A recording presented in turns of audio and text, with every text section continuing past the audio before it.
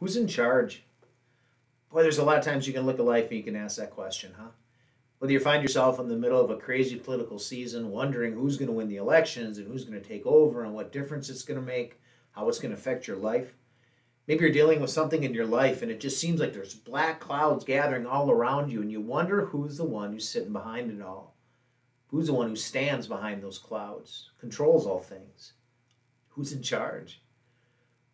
In the Gospel of Matthew, in our Bible study that we're going to have a chance to begin, we're going to see the one who stands behind it all. The one who's gentle, a baby in a manger. The one who's zealous for the Word of God, driving people out of the temple. We'll see the one who takes time for the sick and the demon possessed. And also the one who takes the time to rebuke the high and mighty. We're going to see the one who's on the cross, suffers, dies, rises. That's who it is the one who's in charge, the one who's behind it all. It's not some nameless face. It's not some big bad person that you and I don't know. It's a God who lives for us, who died for us, who rose for us, who was born in a manger. Jesus.